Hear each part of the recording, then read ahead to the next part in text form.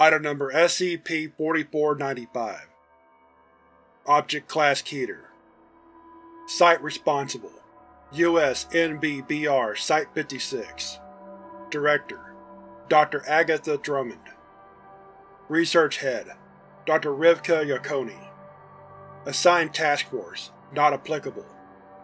Level 4 Threat Level Yellow Following the regular implementation of Procedure 610 Sinclair, SCP-4495 has achieved sufficient ectoentropic stability, and is no longer considered at risk of instigating an NK-class scenario. Legacy containment procedures are kept on record in the event that 610 Sinclair is no longer viable.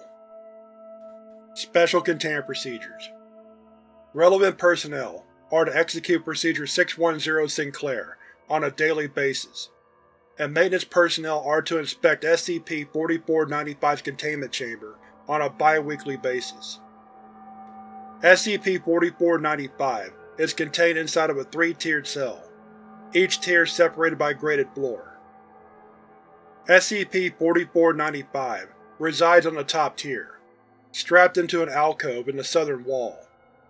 SCP-4495's stomach is positioned at an acute angle with respect to the floor, allowing SCP-4495-1 to immediately fall through the grating upon generation.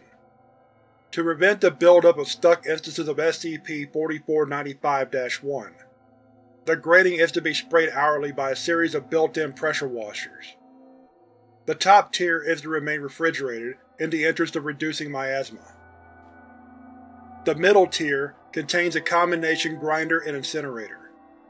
Instances of SCP-4495-1 are forced into the machine through a funnel, emerging from the bottom of the temporary inert paste. This process takes under 10 minutes. The bottom tier contains implements required for Procedure 610 Sinclair. Should Procedure 610 Sinclair become non-viable, SCP-4495-1 paste is to be pressed as thinly as possible, vacuum sealed, and stored in Site-56's Provisional Storage Wing.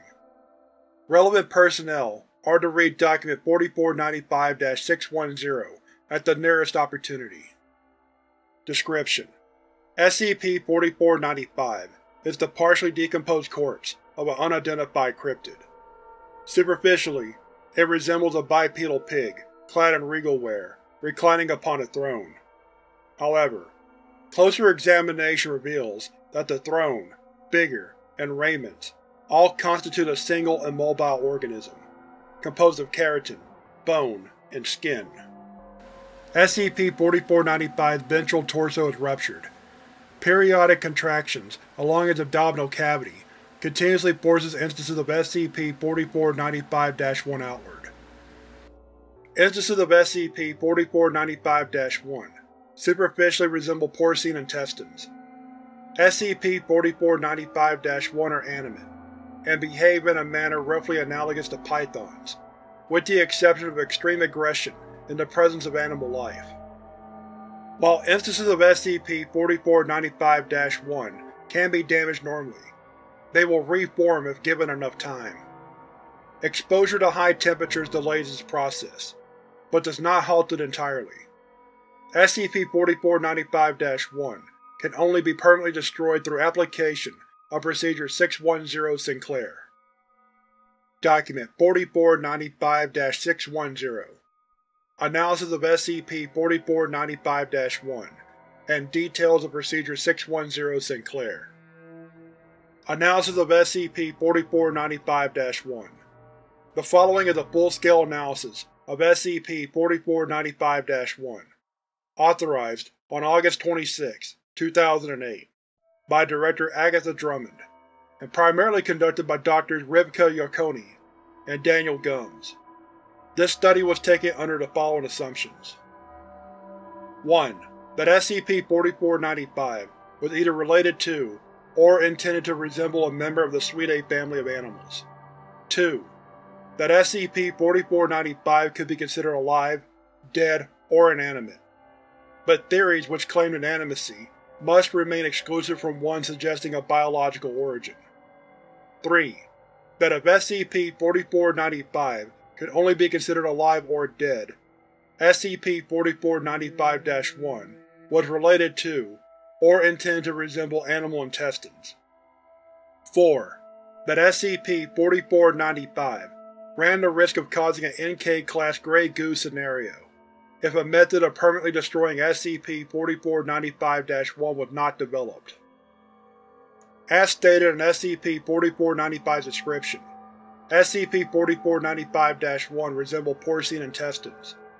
However, instances of SCP-4495-1 are variable in shape and size, to the extent that, assuming SCP-4495-1's functions as a theoretical living instance of SCP-4495's intestines, SCP-4495 as a species would either have possessed a theoretically infinite number of vestigial digestive systems, or a radically variable diet between individuals. SCP-4495-1 was initially subjected to several rounds of chemical testing.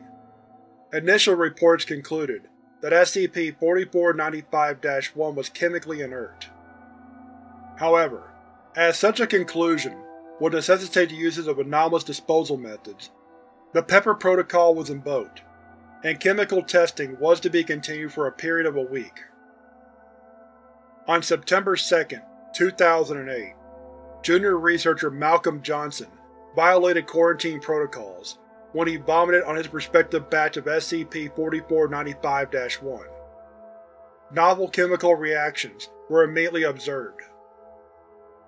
Details of Procedure 610 Sinclair 1. SCP-4495-1 paste is cleansed of grime through a food-safe cleaning mechanism. 2.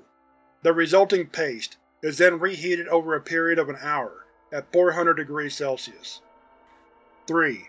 Paste is separated into a series of measured portions, depending on the culinary attitudes of the Foundation. 4. Portions are to be fitted with a fake casing. 5. Portions are to be served to Foundation personnel on standard diet plans in lieu of pork. 6. Unsold portions are to be fed to D-Class personnel as part of URA-2677's containment protocols. 7.